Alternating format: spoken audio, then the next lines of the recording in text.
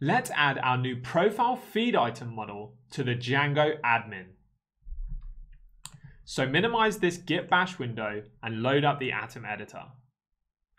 Open up the admin.py file within our profiles API directory. At the bottom of the file, add a new line that says admin.site.register and register the models.profile feed item model. Now save the file.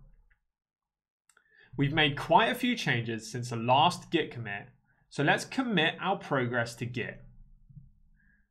Minimize the Atom editor and load up the git bash window that's working on our project directory. Type git add to add any new files which have been added, and then type git commit hyphen am, and we'll type the message added model for storing profile feed items created migration and added to Django admin and then hit enter to commit. So that's how you add our new profile feed item model to the Django admin. Thanks for watching and I'll see you in the next lesson.